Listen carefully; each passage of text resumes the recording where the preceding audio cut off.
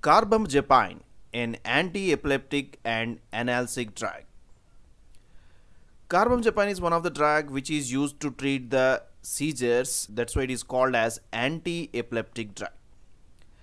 And carbamazepine can also be used in the, some of the situations like the trigeminal neuralgia where there is a pain within the neuron. That's why carbamazepine can also be called as analgesic.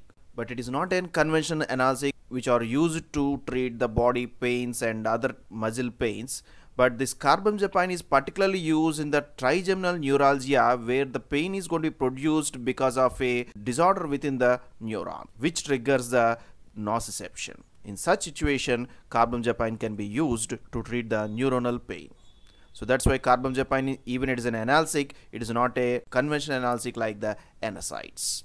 And carbamazepine can also be used in the treatment of the bipolar disorder particularly in a manic phase carbamazepine can be used to control the mania in the bipolar depressive patients. Chemical structure of the carbamazepine. Carbamazepine is having a fused ring system like this and one of the functional group in the carbamazepine is the carboxamide.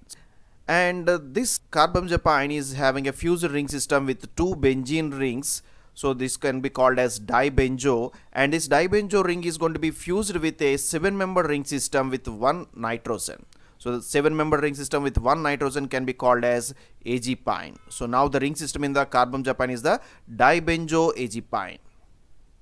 And we can start the numbering for this uh, dibenzoazepine ring system and we have to give the least number to the nitrogen. So we can start the numbering like 1, 2, 3, 4 and 5. So we have given the least number to the nitrogen that is 5. And after that we can continue the numbering to 6 to the 11. Now this carbamazepine is having the nitrogen at the fifth position as well as a carboxamide group at the fifth position. So the name of this carbamazepine can be called as 5H dibenzoazepine 5 carboxamide. The 5H indicates the fifth position is saturated. So 5H dibenzoazepine 5 carboxamide. Carbamazepine should not be confused with the benzodiazepines which are having the benzene with the azepine but this is not having two benzenes with azepine. So carbamazepine is a dibenzoazepine. How it acts? Suppose this is a central neuron, central neurons are going to be stimulated by entry of the sodium into the cells. Sodium is responsible for the depolarization and this depolarization can lead to the so many neuronal activities and among them the important uh, effect that can be observed by excessive CNS stimulation is the induction of the seizures. So whenever central nervous system is stimulated, it induces the seizures within the patient. And depolarization of the neuronal cells can also increase the nociception so they can induce the pain within the neurons and depolarization can also increase the CNS stimulation which cause the manic phase in the some of the susceptible patients. Even the physiological mechanism behind these uh, conditions are different. All these are uh, related with the excessive stimulation of the sodium channels within the central neurons. Now carbamazepine is one of the drug which is going to block these voltage gated sodium channels thereby inhibits the depolarization of the central neurons thereby controls the seizures, pain and as well as the manic phase in the bipolar disorder. And carbamazepine can also act by other activities and one of the possible mechanisms still it is not clear is that it can increase the GABA activity. GABA is a inhibitory neurotransmitter which can suppress the mania in the bipolar depressive patients. But the main action of the carbamazepine is attributed to the blocking of voltage gated sodium channels. Metabolite of carbamazepine. Carbamazepine is having the structure like this and it is having a double bond at the 10th and 11th position.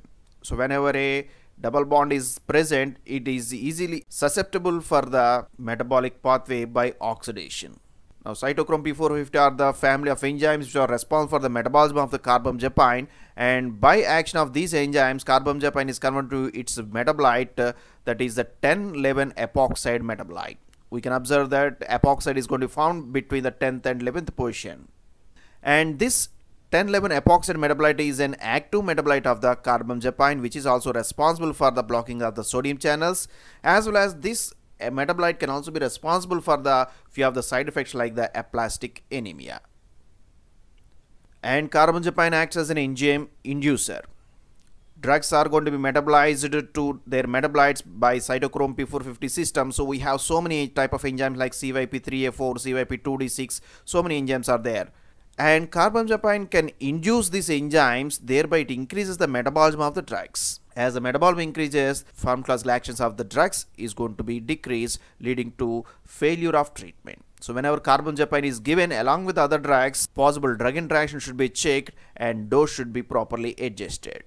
And one more interesting feature is that carbamazepine can induce the metabolism by itself. So once the carbamazepine induces the cytochrome P450 system which further metabolizes the carbamazepine. So it is a act like a self enzyme inducer thereby its metabolism is induced by its own. Side effects. Some of the side effects like the nausea and vomiting, constipation, dry mouth and dizziness are the common side effects that are observed with the carbamazepine. And apart from these side effects, carbamazepine can also produce the liver failure which lead resulting in the abdominal pain and jaundice in the patient. And liver failure is not immediately observed and it can be observed only through the chronic treatment in only few of the patients. So liver failure is one of a rare side effect observed with the carbamazepine. And carbamazepine can also produce uh, some of the rare side effects but they are very severe in condition and they should be immediately monitored. Carbamazepine can affect blood as well as skin.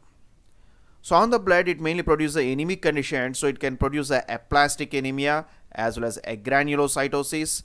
And at a very toxic dose, it can produce the bone marrow depression. So if any patient is having hematological disorders like the anemia or bone marrow depression, the carbamazepine should be avoided. And on the skin, carbamazepine can produce some of the skin rashes and uh, in susceptible patients, the carbamazepine can produce very severe uh, skin reactions like uh, toxic epidermal necrolysis as well as Stevens-Johnson syndrome. These are the hypersensitive reactions observed in few of the patients.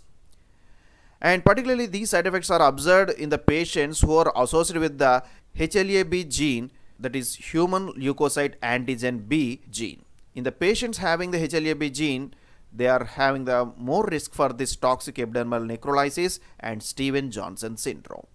How carbamazepine is given? Carbamazepine can be given as a chewable tablet, extended release tablet. Extended release tablet is commonly called as XR tablet.